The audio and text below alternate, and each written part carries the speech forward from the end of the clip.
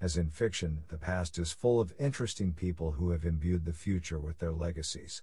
Whether great persons of state, wise scientists, or talented artists, a handful of the 100 billion humans to ever live have transcended death to become immortal via their accomplishments in life. Nevertheless, despite the enormity of these achievements and legacies, many of these virtuosos undoubtedly deserved more.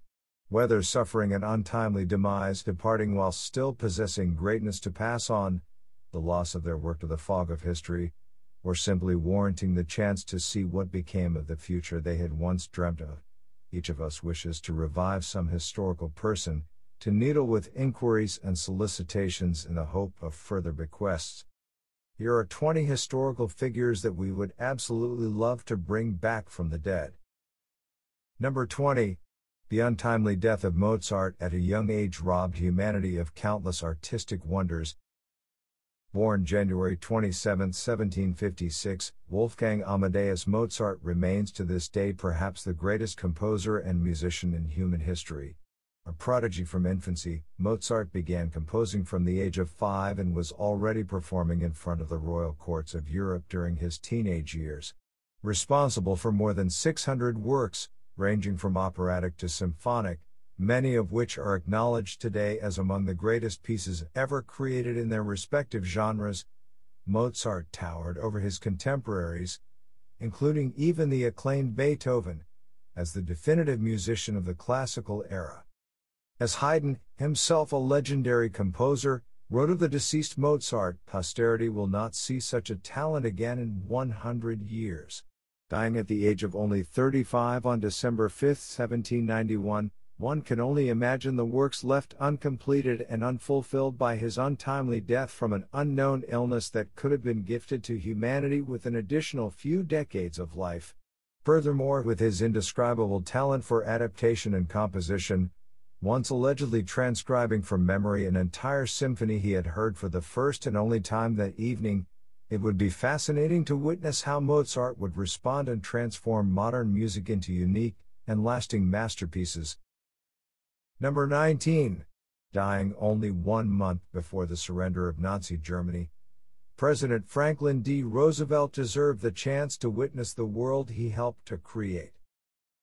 The 32nd President of the United States, Franklin Delano Roosevelt, commonly known by his initials FDR, is widely acknowledged as one of the three greatest leaders of the American nation, along with Washington and Lincoln, and the foremost of the 20th century.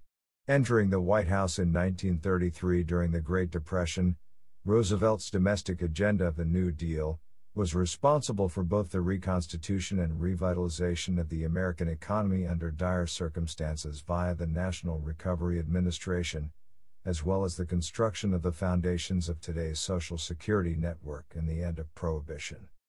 Winning a record four elections, Roosevelt ultimately led the United States into the Second World War following the Japanese attack on Pearl Harbor in December 1941. Presiding over a period of great struggle and sacrifice, Roosevelt, in spite of his increasingly ailing health, held the nation together to defeat the threat posed by fascism. Succumbing just a month before the surrender of Germany, dying from a cerebral hemorrhage after decades of polio on April 12, 1945, Roosevelt was deprived of the opportunity to witness his nation's triumph or enjoy the world he helped to liberate. Given the troubles of the modern age, a leader such as Roosevelt to guide the West into a brighter future once more would not be remiss or ungratefully received. Number 18. Albert Einstein revolutionized our understanding of the universe, renouncing his German citizenship in 1896, enduring statelessness for more than five years, Albert Einstein eventually settled in Switzerland where he earned his PhD in 1905.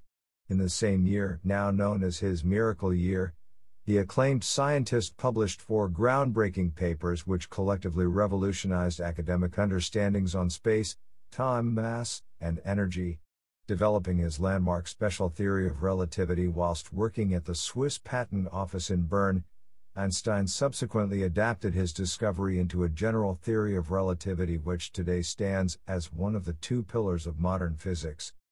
Awarded the Nobel Prize in Physics in 1921 in recognition of his services to theoretical physics, and especially for his discovery of the law of the photoelectric effect, Einstein is perhaps best known today for his mass energy equivalence formula E equals mc2. Fleeing Europe following the rise of Hitler due to his Jewish heritage, Einstein wrote to President Roosevelt on the eve of the Second World War to encourage the development of nuclear technology. However, following its use in 1945, Einstein denounced the weaponry and campaigned for disarmament during the 1950s publishing more than 300 scientific papers, becoming synonymous with genius in the decades since his death. One can only imagine the contributions a mind like Einstein's could make to modern science. Number 17. Introducing Socrates and Plato to the modern age would be an experiment guaranteed to produce valuable philosophical insights. Although leaving behind no writings of his own, Socrates nevertheless remains one of the most influential figures of the ancient world. Born in Athens in approximately 470 BCE, the enigmatic character is known to the modern world only via the writings of his contemporaries, mostly his students and notably Plato, who transcribed his classes and conversations with the legendary philosopher. Credited today as one of the founders of Western philosophy, as well as being the first moral philosopher of the Western tradition, Socrates and his methods remain a strong influence to this day, and it would be invaluable to update and test his hypotheses in an age of increasing moral ambiguity and fluidity. Plato himself would go on to perhaps even surpass his teacher, founding the Academy, the first institution of higher learning in the Western world, but, in turn, would be ultimately eclipsed by his own student Aristotle. Arguably one of the founders of Western religion and spirituality, the works of Plato have left an indelible imprint on early Christianity and the moral identity of Europe. Surviving intact for almost two and a half thousand years, Plato's works continue to educate and enlighten, but like his mentor, could only be improved upon via exposure to our life and times. Number 16. Joan of Arc deserved the opportunity to compete against man on a level playing field unimpeded by nonsensical social norms restricting the role of women in society. Nicknamed the Maid of Orleans, Joan of Arc has become one of the most legendary figures of the European Middle Ages. Regarded as a saint by the Roman Catholic Church, Joan was born to a peasant family in northeastern France, whereupon she claimed to experience visions of the Archangel Michael, among other religious personages. Supposedly instructing her to support Charles VII in the ongoing Hundred Years' War and recover lost France territory from the English, Joan first met her monarch at the age of 17. Impressing Charles, she was permitted to accompany an army to relieve the besieged Orleans in 1429. Immediately resulting in a change of circumstances, just nine days after her arrival, the beleaguered and faltering city broke the siege, and Joan was hailed as a miracle.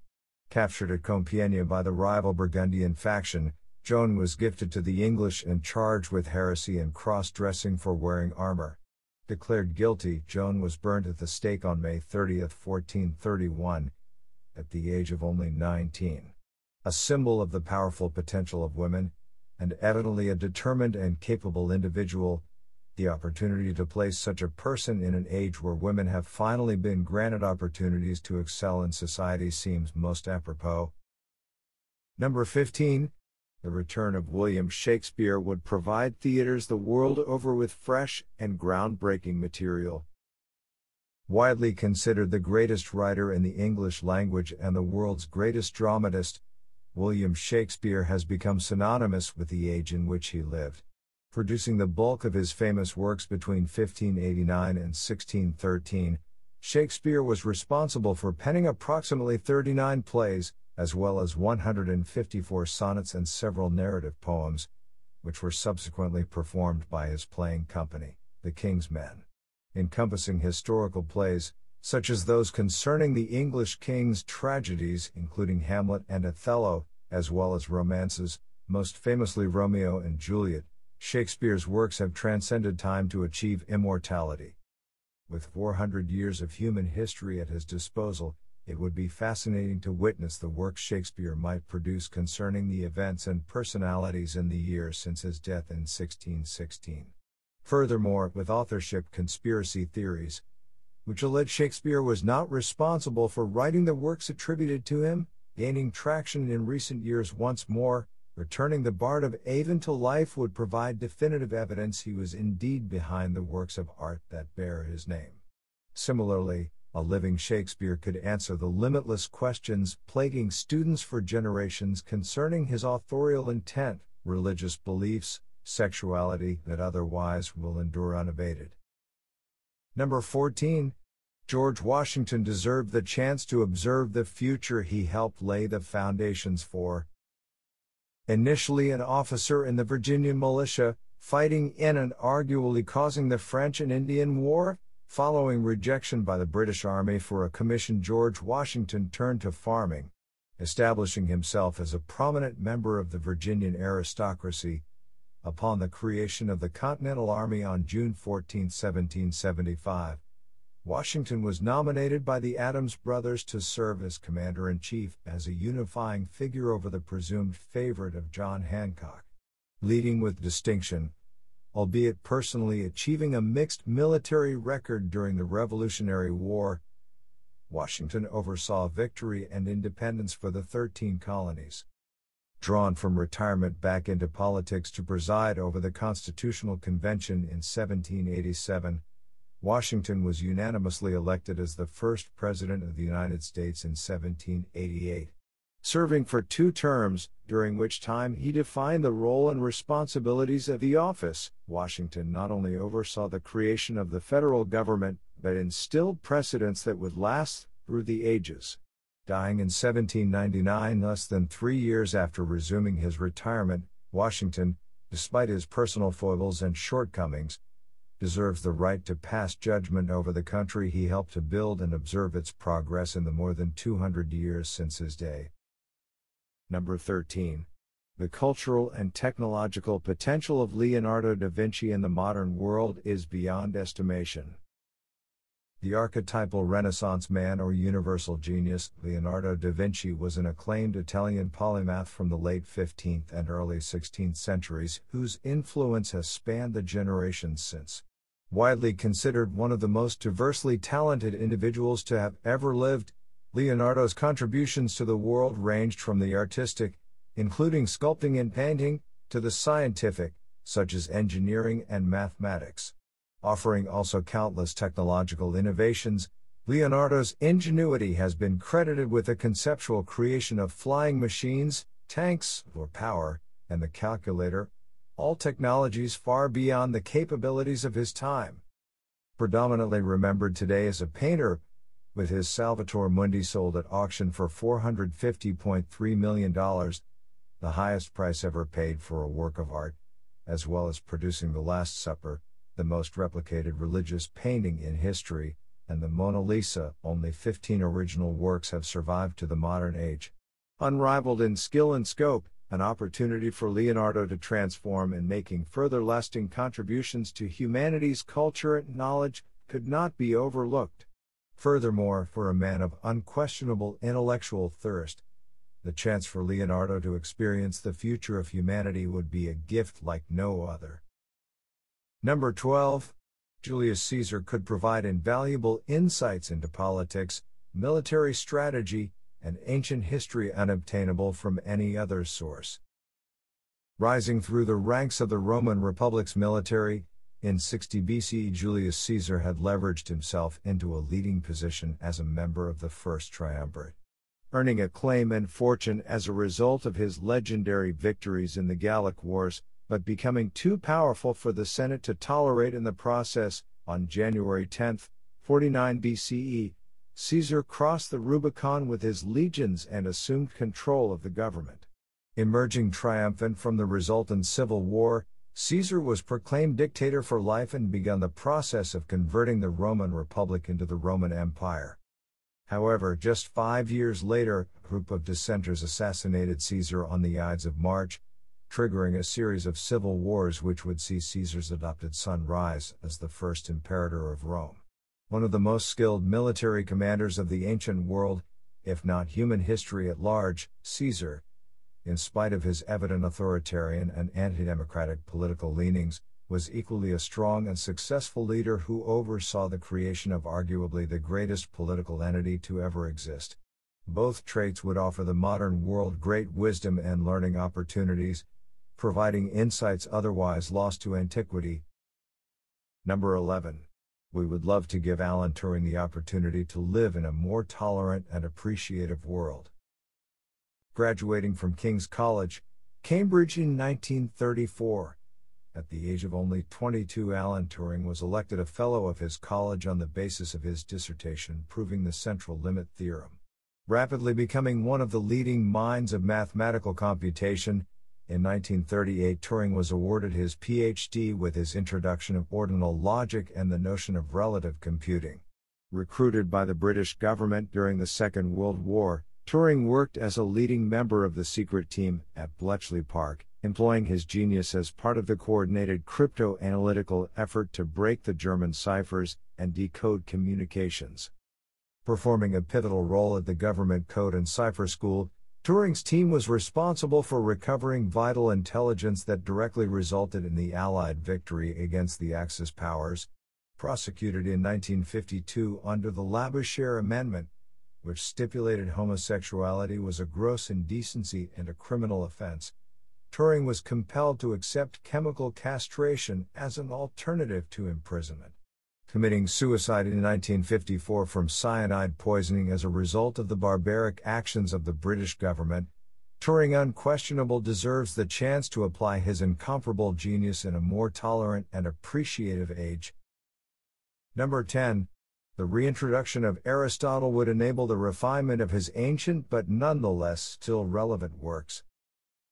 As already noted, the student of Plato, Aristotle, along with his mentor, are broadly considered the fathers of Western philosophy. Little is known about the life of Aristotle, joining the academy at the age of 17 and remaining until he was 37, departing Athens only upon the death of Plato. Hired by Philip II of Macedon, Aristotle, starting in 343 BCE, became the tutor to Alexander the Great and founded the library at Lyceum.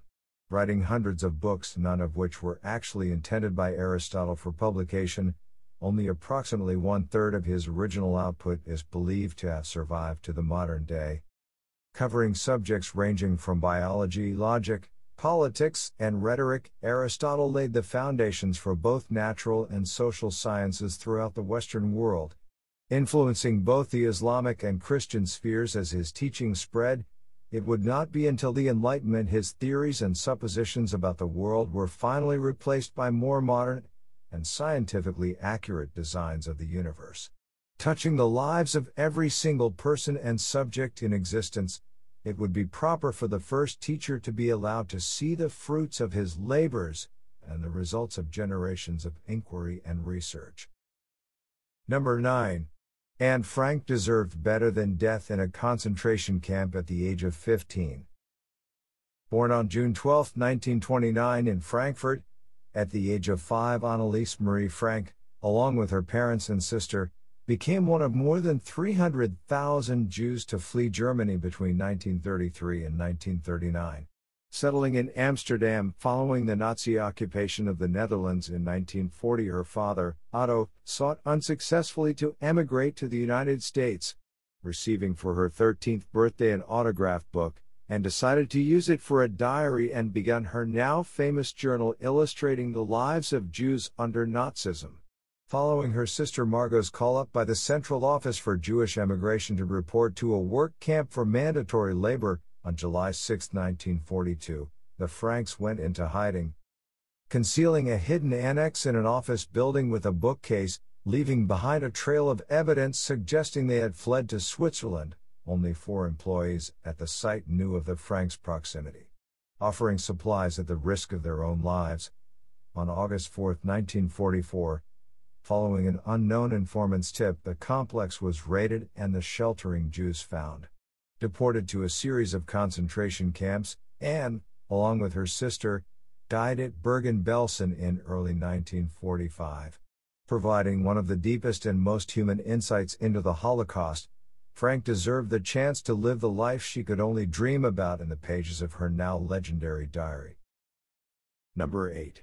Known in life as the Divine One, Michelangelo would only be a positive contribution to the modern world's less traditional artistic scenes.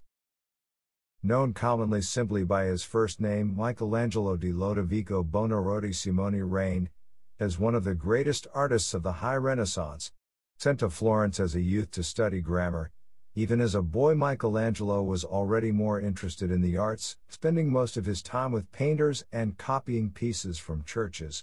Producing several of the most famous works of painting, sculpture, and architecture in history, Michelangelo, known in life as the Divine One, is perhaps the only individual capable of challenging Leonardo da Vinci, his contemporaneous rival, for the definitive title of Renaissance man. Sculpting two of his best known works, the Pietà and David, before the age of 30, Michelangelo transitioned for a time back into his childish obsession with painting, creating two of the most influential frescoes of all time, both of which were for the Sistine Chapel The Last Judgment and the scenes from Genesis found on its ceiling. Michelangelo eventually, at the age of 74, became the architect of St. Peter's Basilica, influencing generations of successors attempting, and failing, to surpass his artistic genius. The return of Michelangelo could only mean more legendary works and valuable additions to human culture. Number 7. It would be an interesting social experiment to observe Genghis Khan in a world so divorced from his own the founder and first great Khan of the Mongol Empire, Genghis, known also by his birth name Temujin and as Taizu under his grandson's Yuan dynasty, stands among the greatest and most fearsome rulers from all of human history, uniting by force the disparate tribes of the Central Asian plateau over a period of decades. In 1206 C, Genghis turned the combined might of his new empire against the historic enemies of the Mongol people, launching an invasion of China, bringing the northern Jin dynasty to its knees. Genghis only broke off his unrelenting assault to attack the Islamic Khwarezmia, following their execution of his ambassadors, utterly destroying the offending nation, conquering vast portions of Asia along the way. Genghis laid the foundations for what would become the largest contiguous empire in history.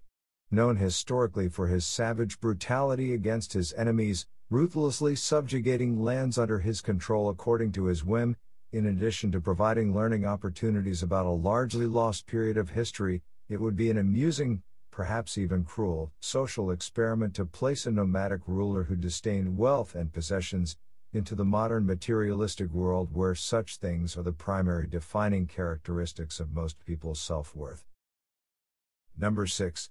Martin Luther King Jr. deserves the opportunity to pass judgment on the 50 years since his murder and determine whether America has actually moved forwards. An American Baptist minister who rose to become the most visible spokesperson of the civil rights movements, Martin Luther King Jr. remains to this day one of the most respected individuals from modern history leading the Montgomery bus boycott in 1955 and elected the first president of the Southern Christian Leadership Conference in 1957, following the failed struggle in 1962 to end segregation in Albany, Georgia. King helped organize the now famous March on Washington a year later, delivering his universally acclaimed and celebrated I Have a Dream speech from the steps of the Lincoln Memorial, King proclaimed a vision of the future without racial hatred or discrimination. Winning the Nobel Peace Prize in 1964, recognizing both his activism but also his passionate conviction in nonviolent resistance. In 1965, King was a leading figure in the Selma to Montgomery marches. Planning a national occupation of Washington, D.C. in 1968, on April 4th of the same year, King was assassinated in Memphis, Tennessee, by James Earl Ray. Posthumously awarded the nation's highest honor, the Presidential Medal of Freedom, as well as commemorated by a federal holiday and memorial on the National Mall, King deserved the chance to provide an honest assessment of the ongoing struggle for racial equality and whether or not his dream, even now 50 years on, has been realized. Number 5 the returns of varying religious founders would provide much needed clarity on the disputed subject of religion. One of the most controversial components of human existence, religion continues to both unite and divide the various tribes of our species throughout the world. Inspiring great works of devotion and sacrifice, as well as tremendous acts of violence and hatred in the name of divine authority, the ultimate question of the universe is one that likely cannot ever be conclusively answered via rational scientific means but instead depends upon the individual logic or faith of each person. That would be unless one could converse with the founders of each world religion to dissect and analyze their own claims firsthand. Whilst modern scholars debate the historicity of Jesus and his miracles, of the Buddha and his conversion from Siddhartha Gautama to a religious leader, or of Muhammad and the divine revelation he supposedly received in the cave of Hira, these inquiries can be far more definitively answered via the specific individuals in question, resulting in either the unification of humanity under a single banner of a one true religion following recorded demonstration of the divine, or the death knell of religion, and the emergence of humanity into an age of secular reason, one cannot deny the rationality nor usefulness of bringing such people back from the dead. Number 4. The resumption of Alfred Hitchcock's career could only mean original and modern thrillers on a level rarely seen by today's audiences. Widely considered among the greatest and most influential filmmakers in the history of cinema, Sir Alfred Hitchcock was an English director and producer active across a six decade career spanning from 1919 to 1980. Known as the Master of Suspense, Hitchcock was personally responsible for directing more than 50 feature films, becoming in the process as famous as his actors and arguably the first modern celebrity filmmaker. Entering the industry in 1919 as a title card designer, Hitchcock made his directorial debut just six years later with The Pleasure Garden before starting to make impactful contributions to the thriller genre in 1927 with The Lodger, a story of the London fog. Garnering a total of 46 Oscar nominations for his movies, winning six, Hitchcock lent his name to his unique style of filmmaking, employing the use of camera movements to mimic a person's gaze as to transform viewers in voyeurs and maximize anxiety directing four films regarded as among the greatest of all time Rear Window, Vertigo, North by Northwest, and Psycho. Eight of his films have been selected for preservation by the Library of Congress. With the advances of modern cinema at this disposal, and with a noticeable dearth of high quality theatrical content, Hitchcock's renewal would be a welcome addition to today's oversaturated blockbuster dominated medium. Number 3. Benjamin Franklin was not only instrumental in laying the foundations of the United States but resided at the forefront of science and technology. A polymath who would become one of the most remembered founding fathers of the United States, Benjamin Franklin enjoyed an illustrious career ranging from being an author, a scientist, and finally a statesman. Across a life that almost spanned the entirety of the 18th century, Franklin served as one of the foremost figures of the American Enlightenment responsible for numerous inventions, most prominently the lightning rod, bifocals, and an eponymous stove. Franklin is widely celebrated today for his discoveries and theories relating to electricity as well as founding the University of Pennsylvania. Earning the title of the first American, Franklin was one of the earliest advocates of colonial unity and independence. Serving as the nation's first ambassador to France, Franklin was instrumental in forging and maintaining the vital Franco American alliance that proved essential to achieving victory against the British and the Revolutionary War. Laying the foundations as the inaugural Postmaster General for the country's communications network, Franklin's interests were wide ranging and impactful. Like Washington, Franklin, who is also depicted on American currency, appearing on the $100 bill, similarly deserves the chance to pass judgment on his successors whilst also enjoying the inventions which followed his own. Number 2. H.G. Wells predicted many of the everyday technologies we depend upon today, and it is only fair he be permitted to also enjoy them. A forward looking social critic, Herbert George Wells is today most remembered for his artistic contributions as an author and the father of science fiction. However, during his own lifetime, Wells was known best as a futurist and progressive commentator, envisioning a brighter path ahead for humanity and attempting to encourage mankind to tread said road. Foreseeing the advent of aircraft, mechanized warfare, space travel, nuclear weapons, satellites, and even the internet, Wells' imagination bore no limitations. Nominated for the Nobel Prize in Literature four times, Wells' acclaimed works include The Time Machine, The Invisible Man, and The War of the Worlds. However, Wells was more than simply a visionary author, campaigning also as a committed socialist. Supporting the short lived League of Nations as a means to potentially unite humanity and end future conflicts, the failure of the organization weighed heavily on Wells. Penning the Rights of Man in 1940, the influential text laid the groundwork for the Universal Declaration of Human Rights eight years later. Sadly, Wells did not live to see his moral vision instituted globally, dying in 1946, and it would be only fair to permit Wells to see the world he could only dream about within the pages of his novels. Number 1. The father of modern science, Galileo Galilei was persecuted by the Catholic Church despite the veracity of his claims.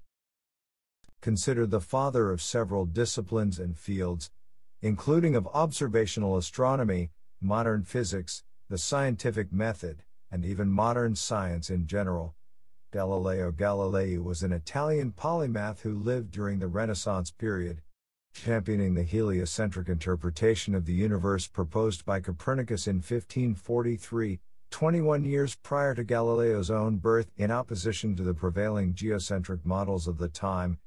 Galileo's consistent and ardent defense of the theory ultimately attracted unsavory attention. Drawing the ire of the Roman Inquisition, after decades of ill treatment and abuse, Galileo was eventually accused of heresy in 1633. Found vehemently suspect of heresy, Galileo was forced to recant his scientific beliefs, in particular, that the sun lies at the center and around which the earth revolves. Sentenced to life imprisonment, commuted to house arrest, for the remainder of his life, Galileo used his final years to condense and publish prior research and ideas on subjects of physics spanning speed and gravity to relativity and motion. One of the foremost scientists in human history, Galileo deserves not only to know his steady conviction in his theories was well founded but to experience the wonders of the modern age he helped to build.